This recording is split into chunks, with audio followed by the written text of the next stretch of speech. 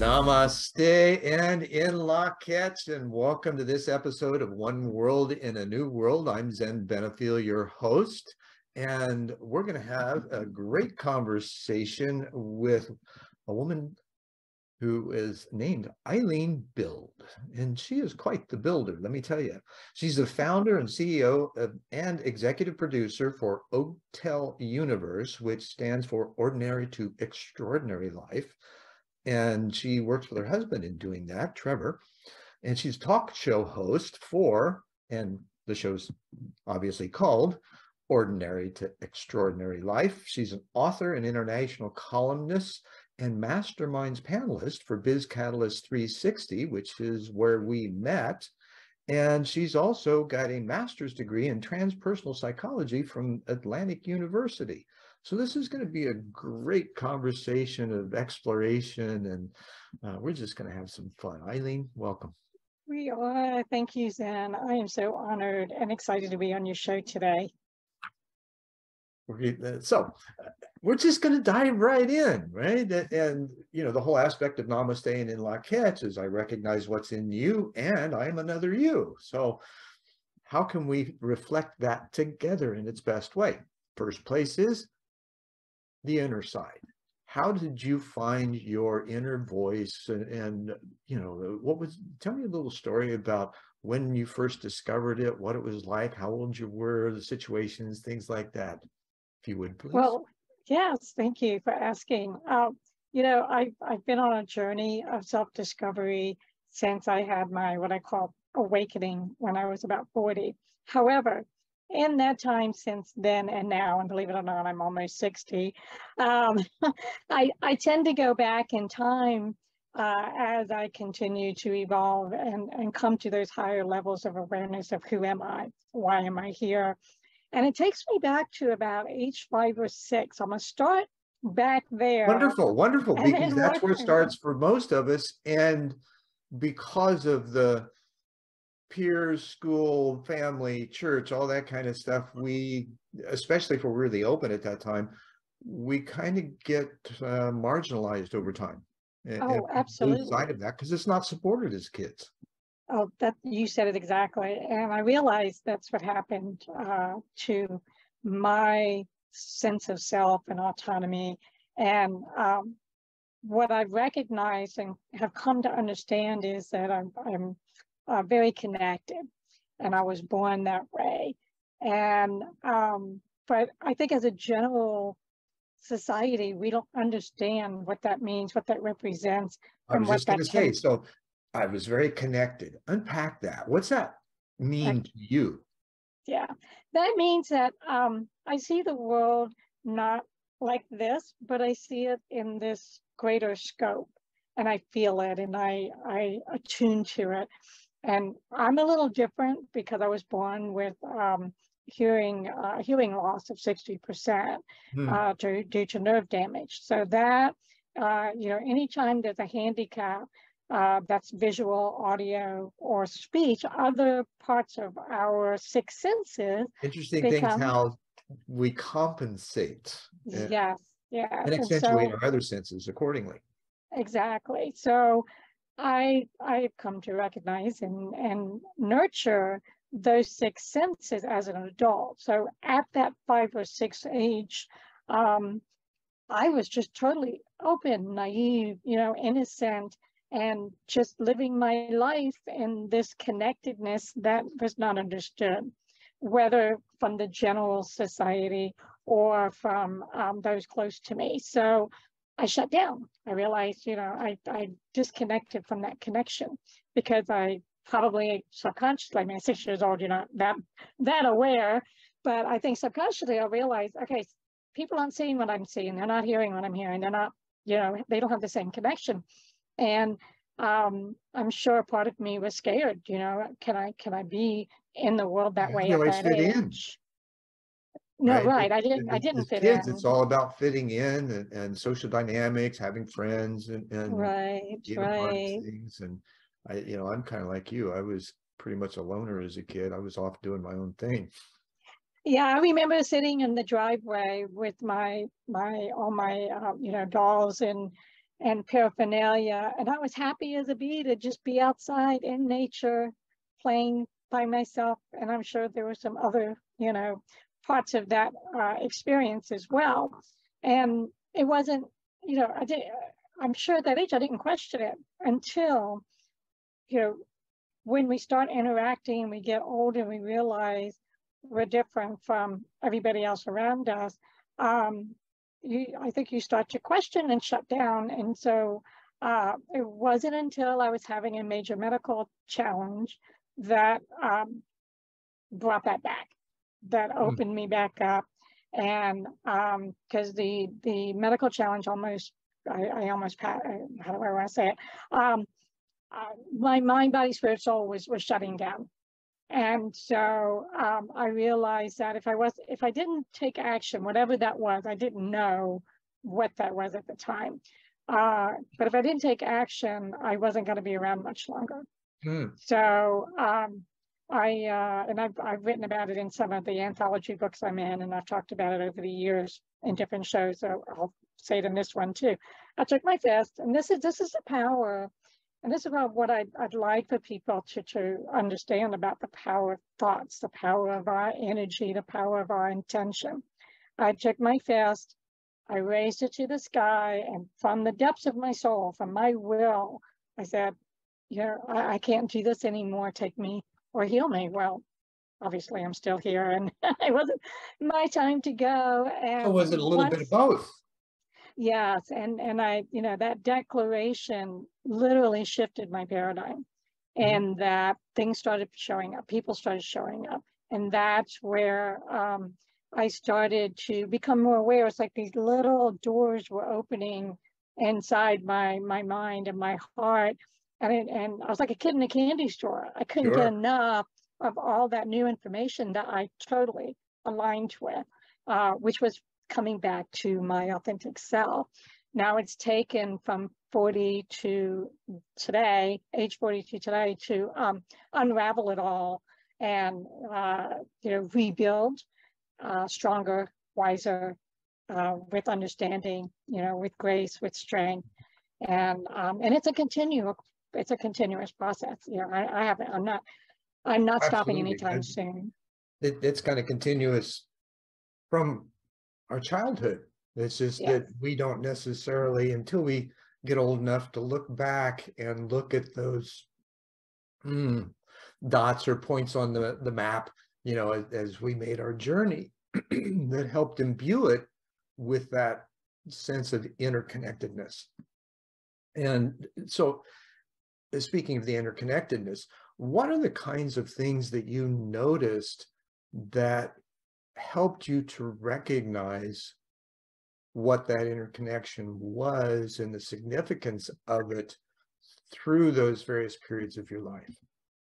That's a great question. Um, I would have to say the awareness and the knowledge of what was missing, that some part of me knew it was still there, mm-hmm. but, it, but it was missing in my current, you know, living my current in the now life.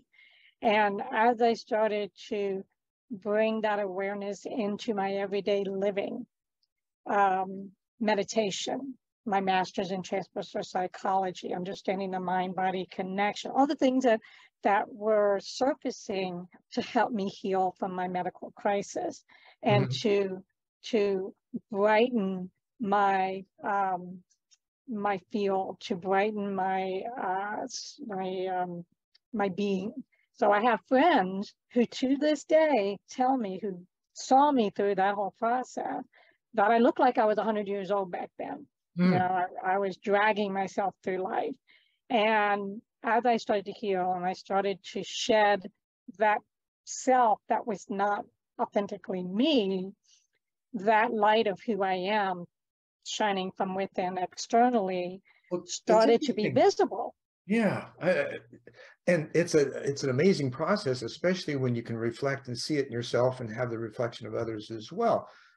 And when you're going through that period of, of let's just say disconnectedness, it's like your energy is being uh, maybe ask I'll ask this question: Did it feel like your energy was being um, usurped or or taken away because of your current desire to participate in the world in the way that you thought was appropriate. Yes, the words that are coming to mind is um, depleted Mhm. and um, diminished. Um, I, I was told when I was getting my my it was so funny when I was getting my life coaching certification. Um, the instructor actually pulled me aside the second day and said, "You've got to tone it down. Your light's too bright." And I came home and told Trevor I got sent to the principal's office because I was expressing myself too authentically in in the class and i think he felt probably was overshadowing you know maybe the other people who weren't as far along in their growth as i was i was Um, like oh gosh you know Yeah, yeah. I, yeah, I, I remember one of my key experiences in second grade. I remember was my principal um, came in to substitute for my second grade teacher, and she was kind of a disciplinarian, and and uh, I'd known her for a while, obviously, and but not really. But she was talking, and she'd said something. I remember rolling my eyes a couple of times. And she eventually says, you know, Mr. Benefiel, if you roll your eyes one more time, I'm going to show you the paddle. And I'm like, cool, I want to see it. Didn't realize what she meant. You know, so Oh, at that time, you know, we're at this literal translation stage that um, doesn't often bode well, right? no well hopefully she didn't show you the paddle Eh, uh, and that was, you know, corporal punishment or, uh, was still available. still, still part of it yeah well sorry that you Yeah. had to go through that but there's, Now, you there's a point mentioned I, the, the diminishing and- and the, uh, what was the other word that you used? Uh, uh, yeah it was diminished and um and then like minimized and and, and how, um, what did you notice were the key factors in what was allowing slash causing that?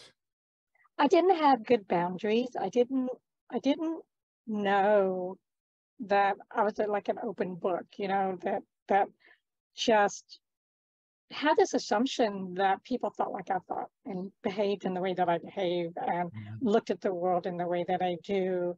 Um, I was too trusting, too forgiving, too yes, too much of a yes person. Um, definitely a giver, give, give, give, and not understanding what I needed to do to get that exchange. Because if we give, we deplete ourselves of the reservoir. Unless it's reciprocal and, and that's where the boundary issues come in and how you adjust those over time, And Yes, also and how I do, was, right? yes, yeah. Well, also how I was enabling. I was an enabler of people uh, bringing to me experiences that really disrespected me as a female, as um, you know, someone who's friendly and kind and gentle and giving. Um, you know, there's people out there that prey on those who have a, a where the on their Unfortunately, they know. do, right? Yes, yes. And so what it has taught me along the way, once I got through the initial stages of the healing and I and I started to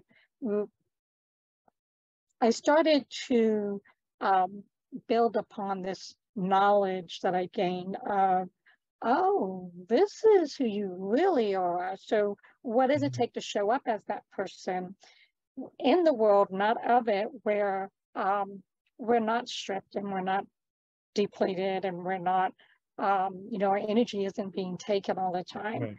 Um, Now, there's a, a philosophy that said, you know, what is it? Um, that we're actually co-creators in our own reality, right? absolutely, yes. So is it, uh, did you ever, or is it possible that those um, diminishing personalities that show up in your life, right? Were they actually attracted to you in order for you to grow into setting boundaries? And- And at what point, if that is so, did you realize it? Oh gosh, yes, yes, yes. And and you know, that's one of the things in life that I, I still struggle with is that that word polarity. You know, light has to have polarity. hot, cold, up, down, list goes on. If we don't have that polarity, we cannot grow. So I've had to accept kicking and screaming mm-hmm. that those experiences are going to show up. Fortunately, as I started to recognize, oh, that person's bringing me something I don't like, doesn't feel good. So what do I need to do to right. um, to to minimize those experiences coming in to teach that person how to treat me? So it's not looking at the other person as the blame, as the the um, catalyst. They are, but there's something in me. There's something that I haven't fully developed enough that they know off the off the car. You know, they know right away. I can't bring this to that person. Kind of so like you when, have the experience to bring you both to a new level. Yeah. There's what was it? Shakespeare said. Uh, nothing is good or bad. It's thinking that makes it so.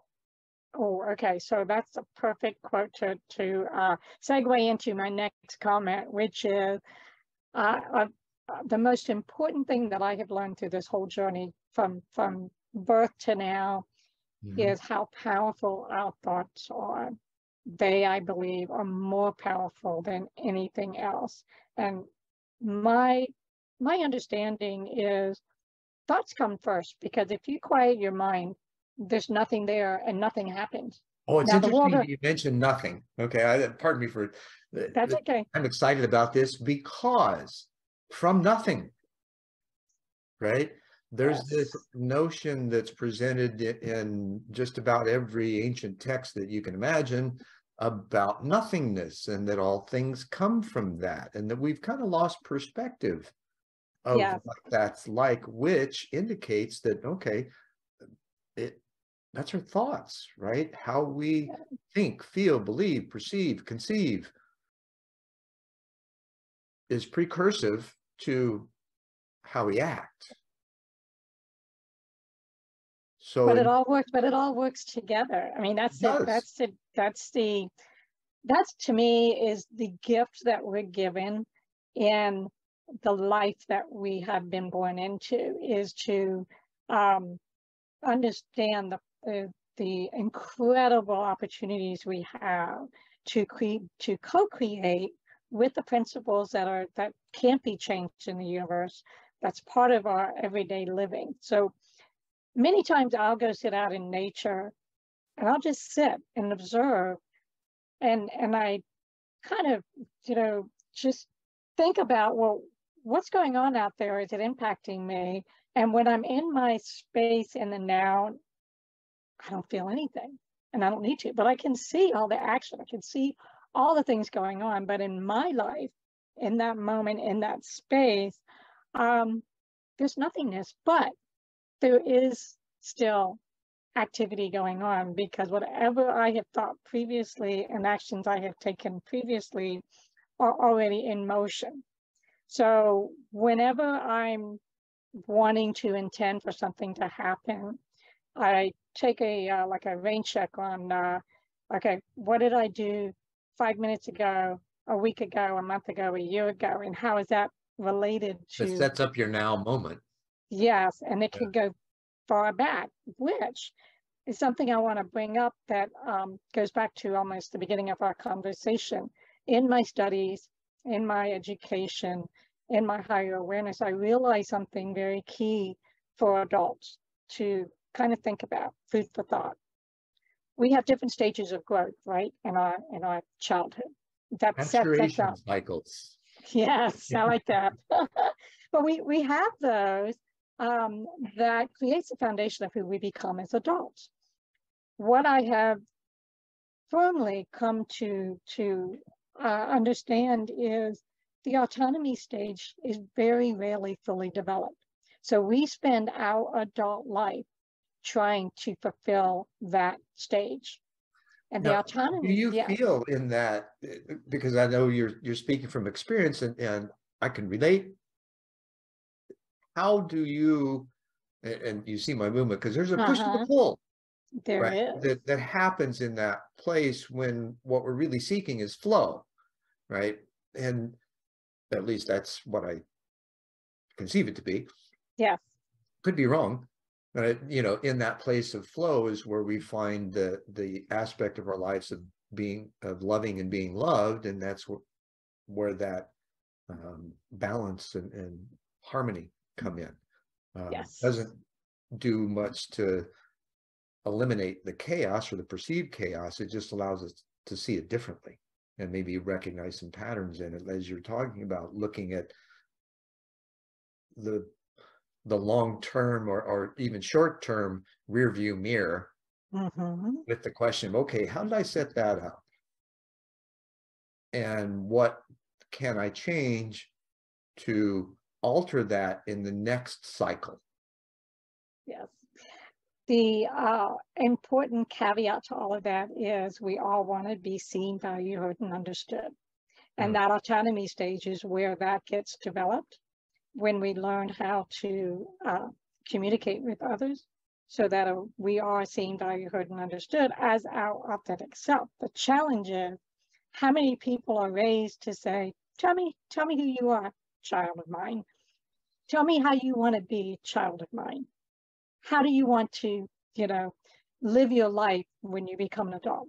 We never ask those questions. Instead, we're told how to be, we're told how to act, we're told how to, you know, respond to our world experiences now i not I, I as will the say that in america yes. Now i've found um, having married a russian then she went through their educational system started at, at five years old was uh, picked out to be a pianist. Mm, and so what i found out was they actually assessed the children as to what their skill set their aptitude their attitude their passion for different things and then they nurture that in such a way you know she went all the way through conservatory and became a world-class pianist and, and accompanist. Um, and their whole culture is built like that. So even mr putin was picked very young in order to nurture him through to the leader that he is today. And so these kinds of things in america and probably other you know um, developing nations haven't been paid attention to for some reason. Do you find that there are some indicators that that is changing because the kids today are learning you know the for whatever reasons and we could probably you know have a litany of them they learn differently. They act differently. They understand things differently than previous generations and and that may be because of the impact of where we're at in our own planetary cycle. Not Yeah. really although it seems that way. What do you see in that and do as i said before do you see that um, bar being raised I think the the younger generations are trying to raise that bar. Um, they are being raised in a different world than you and I and older generations. So there's a push pull right now that's Mhm. going on where um, the differences of um, perception of how life uh, would be the most in the flow and, and harmonious and loving.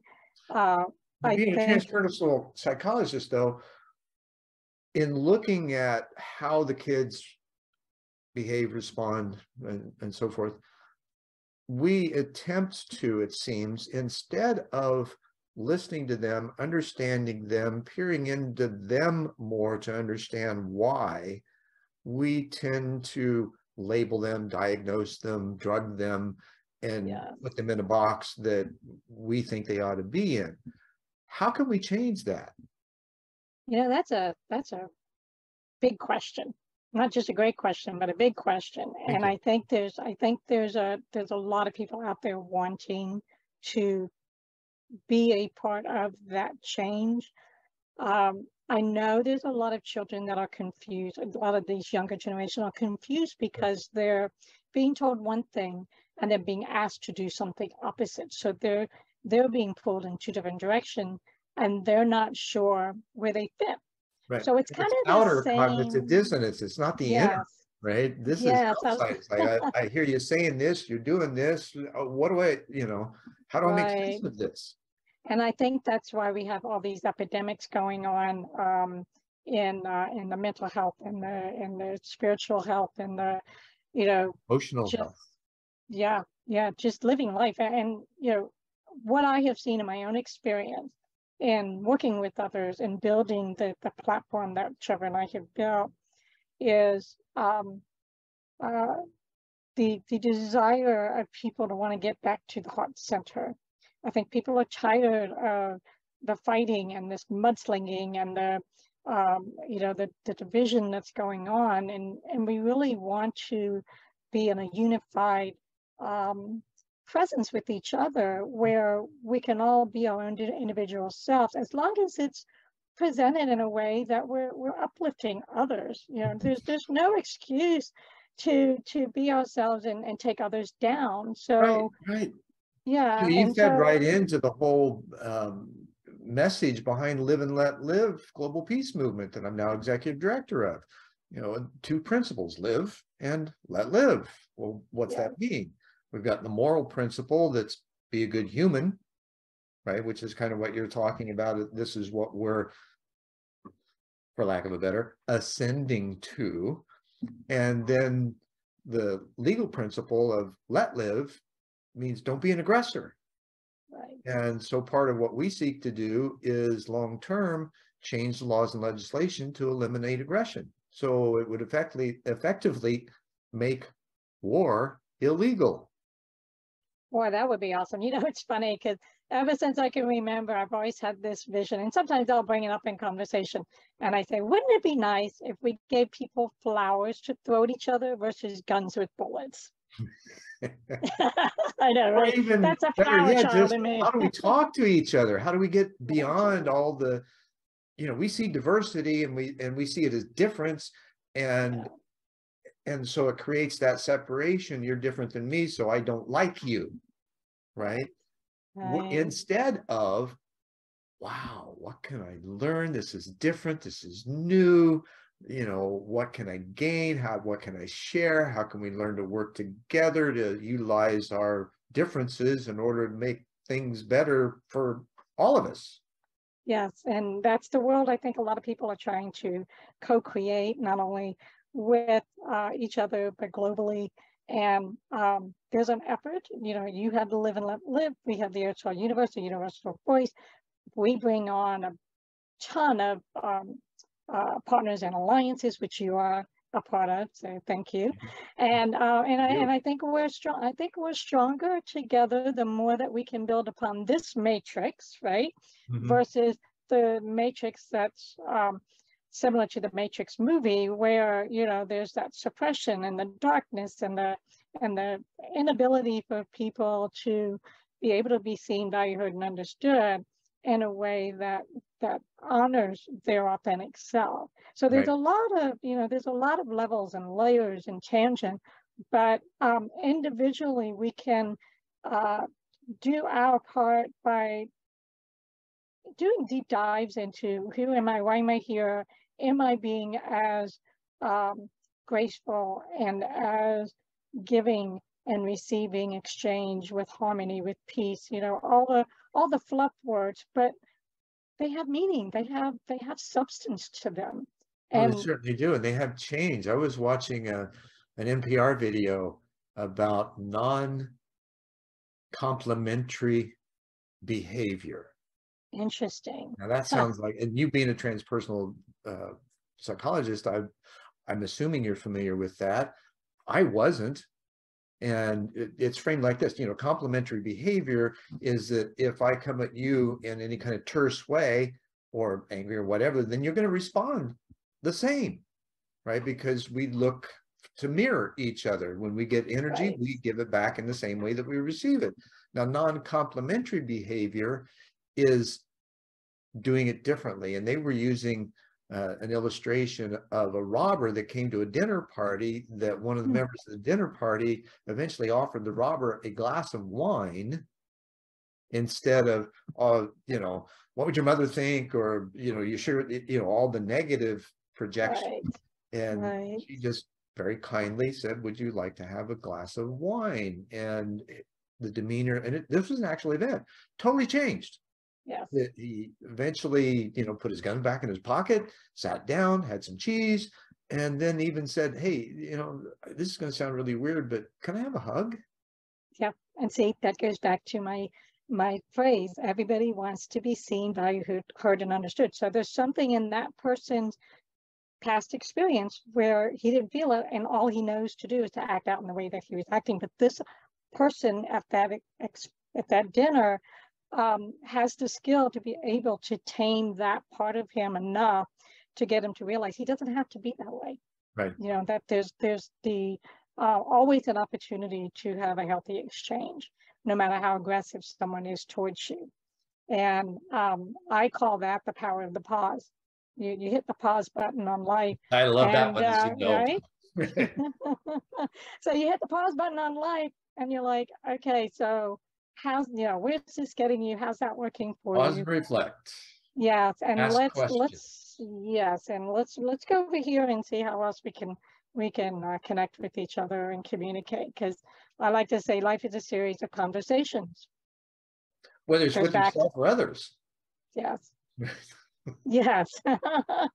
so, so um, for me, my journey has uh, been a gift uh, through the trials and tribulations, through the hardships, through the um, the things that could have destroyed me, whether it was people or uh, the health crisis. But there's a part of me that is strong enough. Is that will that kicked in um, that knowledge that's deep within that's like no no no no you know you're you're on trial by fire and it's your you The know fiery life- furnace. yes and uh, life's the master teacher and we're teaching you you're the student so it's funny as i as i as i um, continue on this path and journey i can recognize and i can see right away and it makes me laugh when i'm in school again when Mhm. i'm in a lesson and if the lesson keeps repeating itself it um, it just causes me to dig my heels in even stronger to figure out what do I still need to do so this stops. And there is one particular area in my life that I keep having the same experience, and um, and and I'm having to work through it, and and it and, it, and it's it's I, I'm kind of looking at it as um, it's going to strengthen me when I come through, and and I think um, each time is not as strong, but it's definitely a pattern. You mentioned patterns earlier, and Life's um, about cycles, rhythms, patterns. It's all math. yes, It's all math. yes, I know. and then we figure out the science once we once we uh, realize that oh the magic actually has some substance to it it does. reason that it It does. Yeah, and we can get a tap on the shoulder if we don't look and say, "Oh, so." Then uh, we get like a shake, and if we don't uh, wake up from the shake, then we get that two by four, and that's when you really got to sit down and say, "Okay, something has to change." You know, Right. there's, there's, Now, do you notice in that process that there was a period where you realized that you'd ask questions and you'd answer them with uh, the information that you already had and not understanding how to be quiet yet? And there's yeah, or do you and for me i tend to still want to do that even knowing that okay i get i shut up dude. No right? Let yourself whatever that higher aspect is answer the question because that's the one that's got the answers. You don't have it or you wouldn't be asking the questions. Yes, I mean, you hit it on the nail. Um, when I was going through my, my medical crisis, I kept asking, before I did my declaration, I Mhm. kept asking, why me? Why me? Why, why, why? But I didn't do the power of the pause. I didn't sit long enough for that answer to come through me I and for that answer to show up. So I had to go through the trials and the tribulations because I was too stubborn to listen. So part of the meditation and the mindfulness that I practice daily in everything I do um, has helped me to to listen, speak less, talk less, which is really hard for a female. Oh my gosh, you know, we want to tell the story, we want to go round and round. We want to give all the details, but I've learned there's times where I have to be quiet. I gotta listen, you know, just It's not that much different for guys. Yeah, that, like that can be true. I had to learn when to shut up.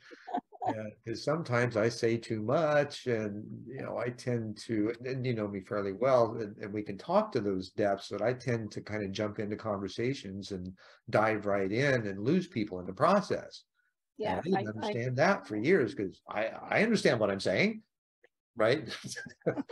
Well, that as an ed, then as an educator, I had to realize, oh, okay, I may understand something. However, I've got to be able to explain it to every person in the audience in their understanding first before I can then take them someplace else. We've all got to be on the same page, and we don't do that. How do you see that evolving in in, in your process, especially right being uh, going through that traumatic period, being able to pull the nuggets out and share those with others who may be going through similar things. How did that help you in, in that process of recogn of recognizing yourself? it, um, it took a while to realize that, uh, again, uh, you know, because of my circumstances and my awareness being heightened because of the hearing loss, that people are not walking in this world the same way I do. And I, I, I had to understand that myself first in order to be able to explain what I've been through, what I've experienced. That's real to me. That Mhm. may be something that others wouldn't understand because they haven't been through it. Right. And, And, and the um, words that you use too, the, the articulation. Uh, one word can have multiple meanings depending on where the listener's ears are. E- Exactly. Yes. Yes. And um, so I've learned uh, discernment and who I can say what and how much and when to listen or how to listen to when I can give more information. Right. I think we call that discernment, right? Yes. Yes.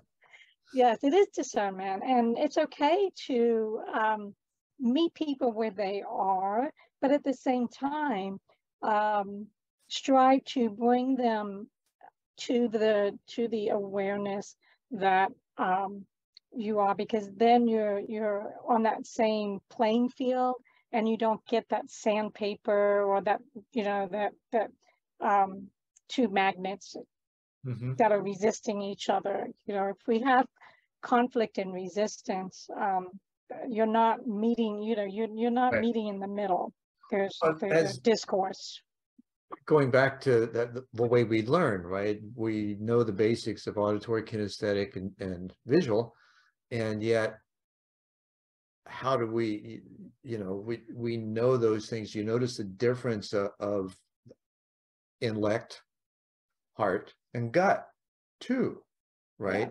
Yes. How do we think about things? How do we emote about things? And then how do we feel about them? Because the feelings and the emo- and the emoting are necessarily congruent. Right. So there's three different, like the indigenous say, you know, you've got your first brain, second brain, third brain. yes The gut's where you're connected to all the vibrations. That that's where you feel everything. And the heart kind of discerns what it is, right? Because you're looking for that empathic empathic resonance. And if there's not, then that's where the questions come up. And then you move into the brain, which is where you have the opportunity to make the choices as to what to do with the information. yes and there's also intuition and all of that Right. Well, that's the gut. Correct, yes. And I think a lot of people, um, well, I know for myself, understanding my intuitive resonance of the truth within what I'm feeling.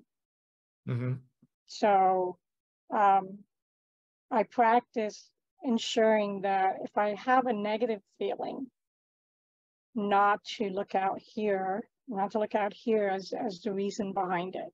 Instead, um, to see where am I feeling it in my body so that I can bring a better light upon whatever's causing that negative Mhm. feeling.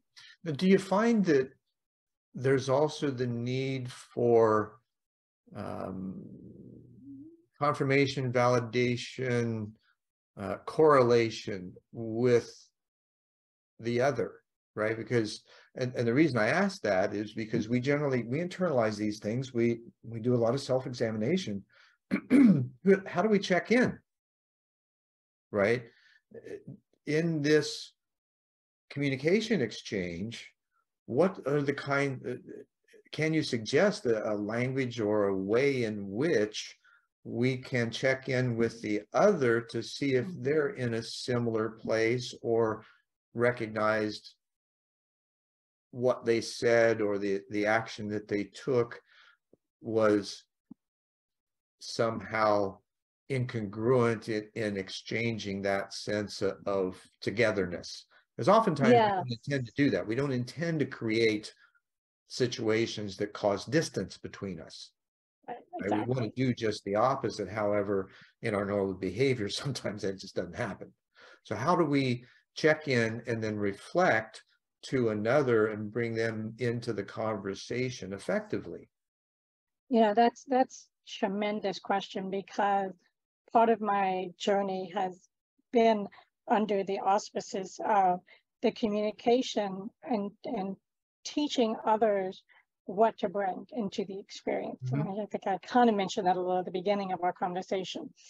Um, what has become tools in my toolbox is validation, the most powerful tool that I've learned, which I can thank Trevor for because he's taught that uh, which I now teach the, um, uh, the the power of validation.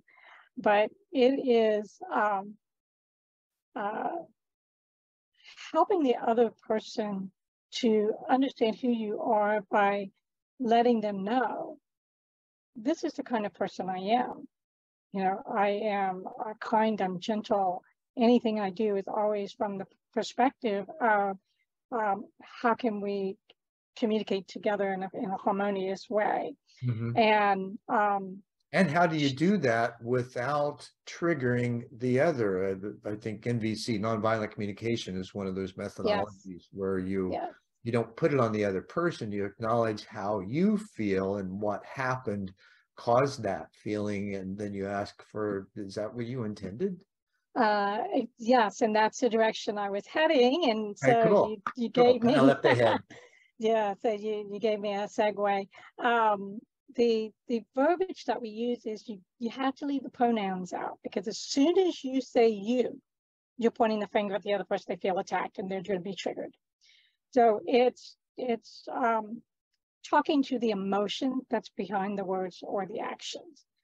When I experience uh, the uh, words uh, that are coming at me that that are negative, it doesn't feel good, and Mhm. I prefer to feel good. So Or you perceive them to be. right, right. Doesn't always mean that they are. well, I it they Sometimes it's obvious, but right, yeah, there's, a- well, there's subtle moments that get in the way, right? Right. Well, it's putting it on me. I don't feel good with those words being presented to me. So Mhm. therefore, in the future, using the word, uh, would you please, or would you, mm, uh, you know, would you? What's the alternatives? What- Yeah. Yes, it's like what I, I, in, in anything I, I do, whether it's coaching or talking with people, um, it's thinking of if something doesn't feel good, what's the opposite word that can be used? What's the opposite thought that can be used? And that's whether it's your own doing or somebody else doing it to you, Mhm. uh, that you think it's being done to you. Uh, really, everything is being processed through us, so nothing is to is us. so full of victimization, Yes. right? And Yeah. that perception. Yeah. And and what happens is it it becomes this this circle of give take give take until we can break that that cycle that is keeping that high mental energy going and so the validation brings them out of the head and into the heart self validation also helps when you learn how to self validate yourself Mhm. so, you know, there's Oh, just know that you're okay, right? What Yeah. is that, uh, oh, what kind of movement? I'm okay, you're okay. What was that? Uh, Uh, I, I know what you're talking about. I, I can't think think that actually had to do with the transpersonal development, right? Yeah, well, there's there's a lot involved in transpersonal um, understanding and psychology. Uh, the key is what is transpiring between your heart, your mind, your thoughts, and how is that impacting your outer world and your life? Mhm. And when we built the OTEL Universe platform, it was all about a universal voice, giving people the ability to have a voice for their passion, vision, dream, so they feel heard, valued, understood, so they can feel a part of the world that um, allows them to be their authentic self. And we need more of that. So then we have healthy conversation and communication where things are not misunderstood, assumed, um, you know, misconstrued. And it, it just, when we can do that pause and listen for the other person to find out where they are, what is their pain point that we're feeling, because really we're, we're, we're picking up something from the other person that's triggering us. If we don't have that own pain point ourselves, then we won't be feeling negative. We won't be feeling um, anything other than hearing their their distress Right. and offering to to um, uh, to to quell that for them. What are the kinds of questions that one asks self to unpack those things? Oh, wow. Um, okay, let's see if I can give you a couple examples. Uh, we can ask ourselves, why am I angry? What's the opposite of anger? What's the opposite of anger for you, Sam? I, hmm. Um, gosh, that's a tough one because I haven't experienced that for a while. I, I suppose, um, anger would be, um, feeling embraced. Okay, so I could ask myself if I'm angry about something, what would it take for me to feel embraced? What do I, I mean, just saying those words, anger versus feeling embraced, I don't know if you can feel it, but I can feel there's a difference in the weight, you know, words have weight. Mhm. And there's a difference in how it's it's coursing through my body as I say the words. So just by asking that question, how can I feel embraced? You're going to start bringing up experiences where maybe you didn't feel embraced and you want to. So how can you um, bring in in the now a present experience where you feel embraced and then, you know, uh, nurture that because the past is just an experience. We're looking in the rearview mirror, pedal to the metal, and we're going to crash. So I say stop looking in the rearview mirror, other than to pick some nuggets from it, as you mentioned earlier, and and focus on now. What do you have now? What what goodness, what beauty, what value, what gifts can you find? The magic, the mystery of life that can allow your life to be where you're living it Mm. now fully living it fearlessly living it living your dream. Those are my taglines now. Living fearlessly living the dream living life to the fullest. What are And- you afraid of? right. What are you afraid of right? I mean there, there's, there's a lot of things to to fear. You don't want to put yourself your hand in, in in a fire. But when it comes to pursuing the things that you enjoy there, there's there's no reason to be fearful. Sure, I totally agree with you, and and oftentimes it's that one of the, the imposter syndrome that shows up, right? And I don't know if I'm enough, if I have enough, and, and you know, am I enough? Kind of questions, and yet you wouldn't have the desire to do something if you weren't enough, in my mm-hmm. opinion. And and I think that I'm exploring that too, right? We we have these magnificent almost um, phenomenal kinds of self views from moment to moment. We don't often take the opportunity, or, or, you know, we don't over- often create the opportunity to explore those because we're resistant. Oh, I, I I'm not going to be successful. We know how to fail, right? We do it all the time. I like to say of- fail up Exactly. And, and it's Yeah. the whole thing of these are the stepping stones. It's like Edison learning how to make the light bulb. You, you, you know, figure out how to 99 ways not to.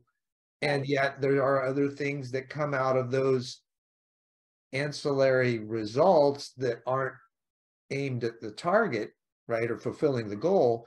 And they they can still be useful. We tend to discard all of those things as I, I don't want that, you know, failure's not an option. Well, how'd you get there? You failed a bunch of times. Mhm, mhm. You have me thinking about um, how uh, everybody has a story. I believe everybody has some story uh, of trials and tribulations, of overcoming, of you know something that they've achieved, and through that story, they can inspire others. So if someone says, "I'm not enough," am I enough? They're comparing themselves to others. We we don't need to compare ourselves. All that we need to do, I shouldn't even say need, I don't like the word need. All that can be beneficial is, You're good for um, more. yes, that commercial, right?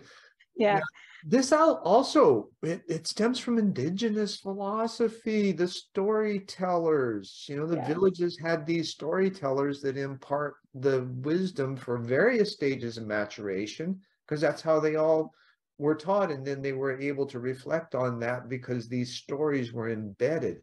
We haven't told stories for all too long, probably since before we, in America, since before we started taking the land and calling it our own, when there was already inhabitants here.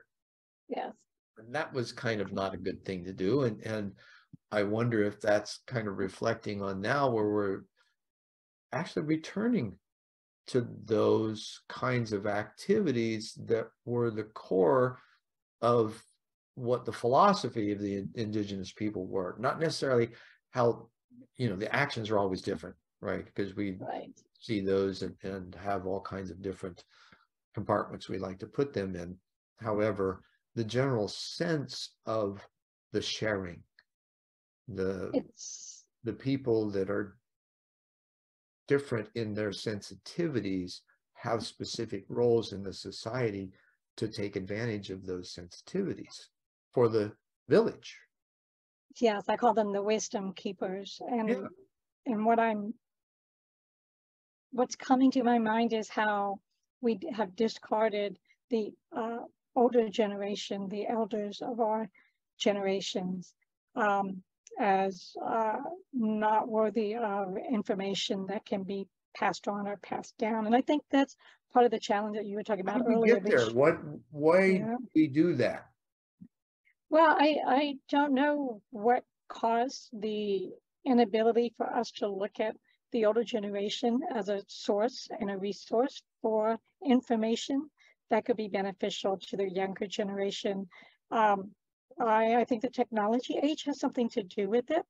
I haven't, I haven't really delved into the understanding of why we don't honor the elders today and that why, just came up, I, you know, because I asked the question and, and as you were speaking, I, uh, there was this notion that, well, it has to do with kind of a general personality development of a country or a nation or world for that matter, Mhm. right? Because there are, each country has its own personality because of how it grew up.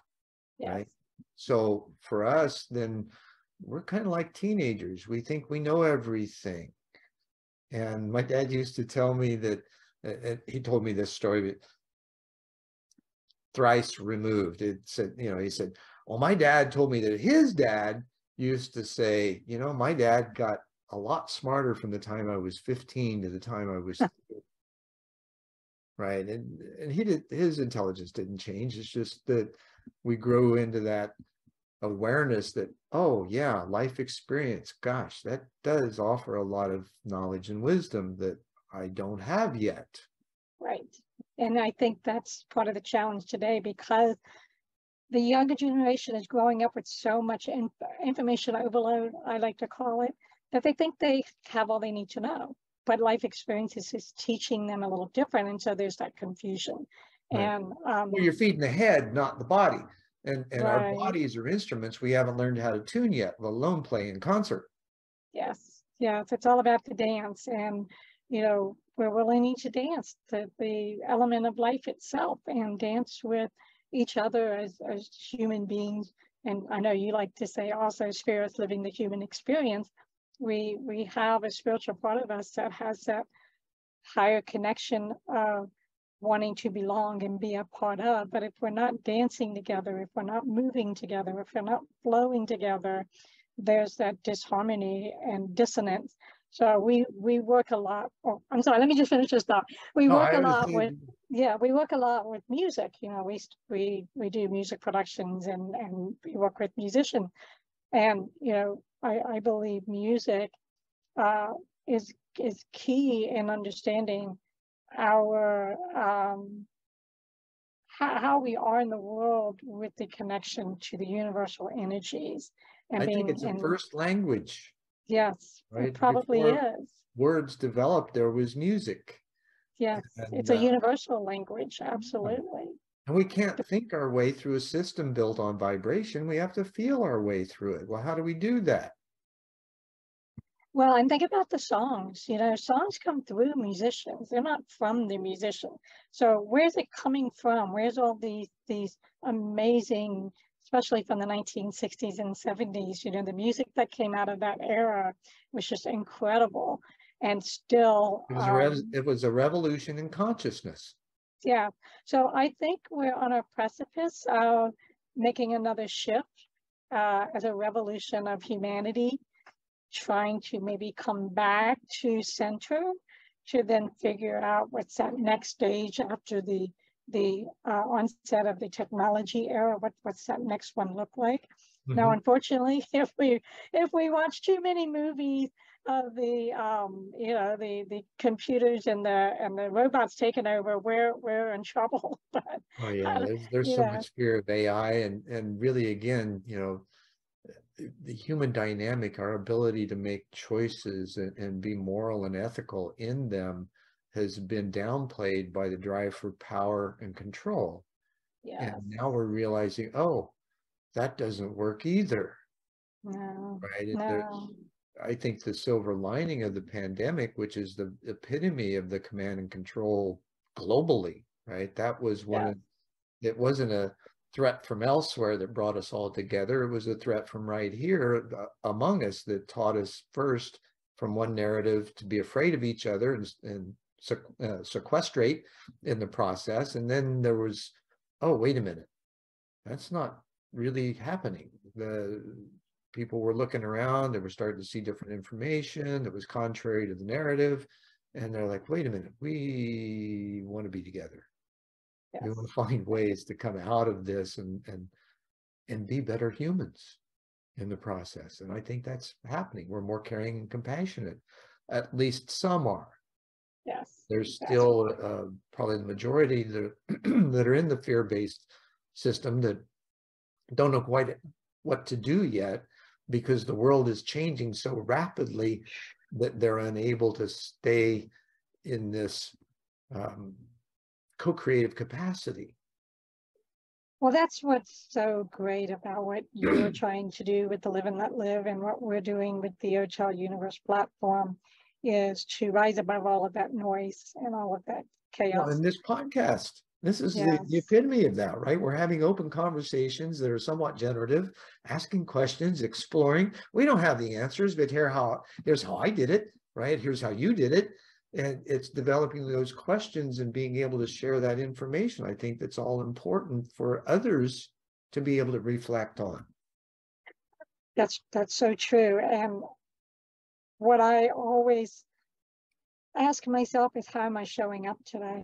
How do I want to show up today in uh, when I step into the world and bring what I know from my experiences, the knowledge that I gained, the wisdom that has um, become a part of my platform and share that with others. So, you know, if they want that too, um, we have the ability to to show them. And, Mm. you know, I love to ask questions because questions give us the avenue through which um, we have a better understanding. Because as you said, things are changing so rapidly and and just to keep up with today much less yesterday and what's coming tomorrow, um, we can't, we have, we have, I mean, today it's very hard to predict what's going to come tomorrow. However, we can individually design um, and co-create our intention of what we would like to experience, but then things come in that that may counter. And so, you know, you have to adapt and pivot and and and dance with that mm-hmm. in order to be um, as close to a harmonious relationship with right. yourself, with others in the in the world. Now, as a transpersonal psychologist, what do you think about all the tools that are available for self-assessments, um, from astrology to numerology to Myers-Briggs, and yeah. those you know that kind of span the the spectrum? Are those things to engage? Absolutely. I think tools are great, just like um, you know, you have a, a real toolbox and you've got different tools in there, but you're not going to use them all the time every day for everything. Sure. You have specific tools for specific needs. So I think the more that a person can gather tools, but not not not to where you can't carry your toolbox. You know, I I've had to cut back on being a, a, lifelong scholar because I could study and take classes and learn for the rest of my life and still not get enough. But I've had to put a I've had to put a break on you know, realizing, okay, I have enough. Now it's time to live life and use those tools. So what are some of the tools? Meditation to me is, is key. The power of the pause. Um, astrology, you know, you could use it as a basis to understand things. I actually have a friend who just came out with an astrology book that's based on um, business and certain certain uh, numbers for each month can guide you on decision making in your business. It's really cool. It's yeah. not a, it, it's not a pseudoscience like most would like to pretend. No, uh, there's there's science behind it. Oh, there truly is, and and yes. There have been great people in the world who have had astrologers helping to guide them. I mean, exactly. we all know about the Nancy Reagan, right? Yes. and yes. how she used astrology to help her husband. Well, yeah. these kinds of things, we often, because of other kinds of influences, tend to diminish or deny their capability to help.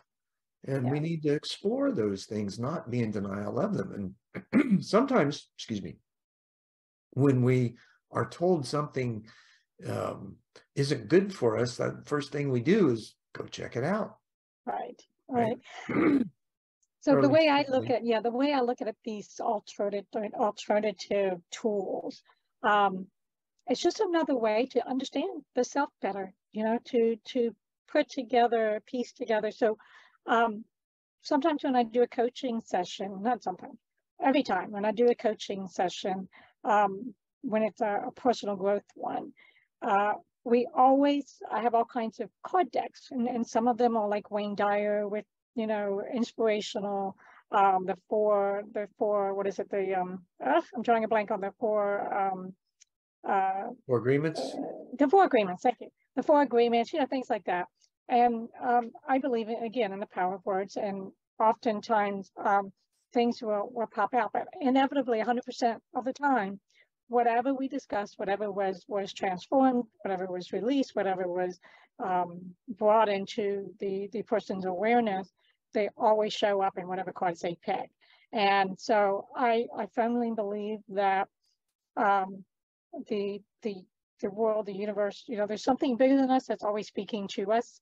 And, and it can come through dreams. It can come through books that fall on our lap. It can come through conversation. So, you know, someone can listen to this today and it's going to a light bulb's going to go off in their head. It's almost like so, it'll come through any door that's open, even if you're, and especially those you're not aware of. Yes, yes, and and I like to use the, the, the, cards and books and words and and other things because it's it's a support system. You know, it's it's a way to validate and collaborate what you feel is is right and true and good, and um, it gives a an extra uh, you know, like oomph to the fact that I'm on the right track because this is supporting what I thought or what I'm thinking and what I'm what I'm the action I'm taking. Yeah. And uh, so that's that's my take on on your question. cool. So let let's um we kind of need to wind down here a little bit. Let's look at how you can help others with something that, that you could offer for them on a daily basis to be able to help them actualize a greater part of themselves that is this connected self. The thing that comes to mind that is critical and key is to stop the chatter in their mind, in the head, to learn to quiet the mind so that what is uh, trying to, to get through can come through mm-hmm. and be able to give you those golden nuggets that um, will be beneficial for that, that personal and business growth and, and help remove, eliminate, diminish the, uh, the fears, the uncertainty, the uh, parts of ourselves that sabotage and be able to walk your path showing up authentically yourself.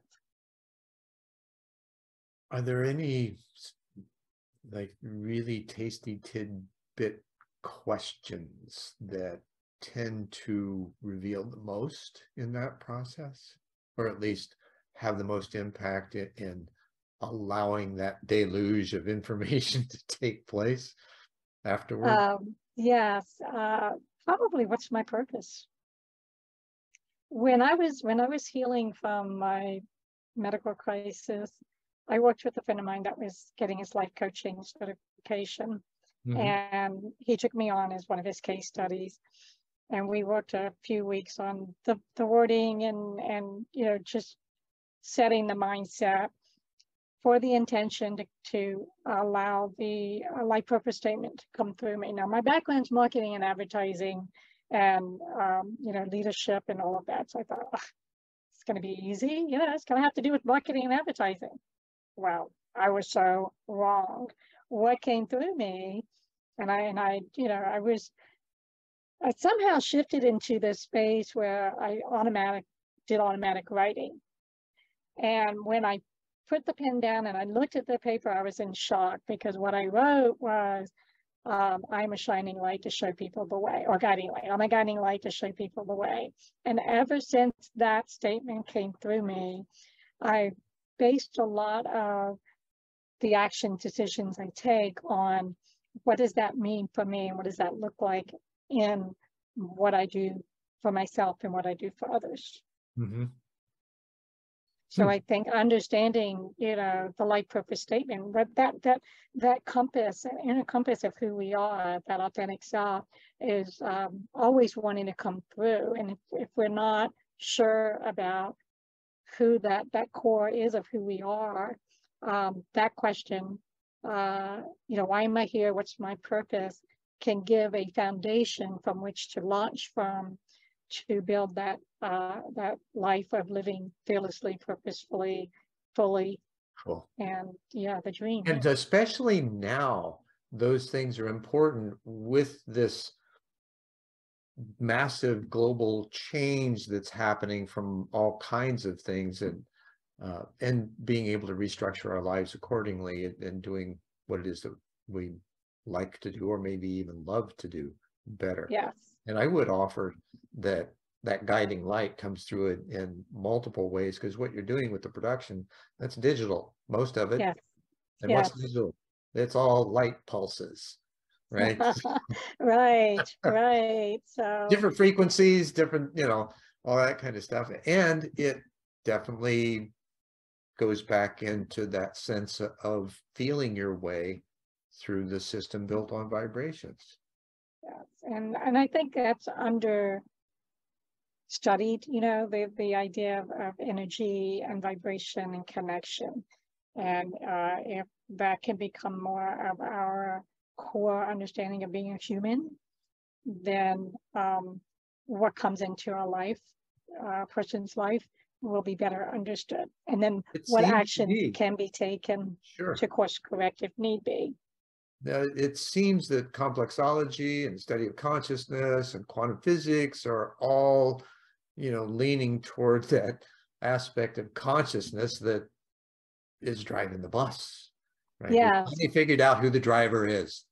yes. And I think science and spirituality are, are starting to bridge, you know, they're starting Absolutely. to work together as time goes along. Well, the two are actually, when you look at it, they're one. It's just, it's the magic that we didn't understand, that we have little bits and pieces of from time to time in our lives that sprinkle it with these, you know, magical moments. And then, and then we go back to the turmoil and, you know, wade through stuff and still have these, you know, uh, moments of, of ecstasy, if you will.